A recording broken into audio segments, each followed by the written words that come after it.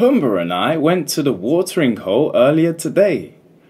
It was too hot, so we decided to rest under the trees where it was cooler. We found some beetles on a dead tree, but as soon as we started eating, we heard laughter behind us. There were three hyenas.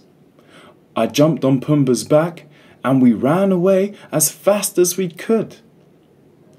The hyenas chased us, but we reached the watering hole and there was a herd of rhinos. When the rhinos saw the hyenas, they charged at them and chased them down the hill.